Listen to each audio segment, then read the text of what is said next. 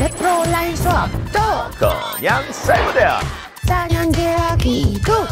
그냥 사이버대학 자격증 취득도 그냥 사이버대학 장학금 넘쳐나 그냥 사이버대학 나를 바꾸는 대학. 건양 사이버대학교.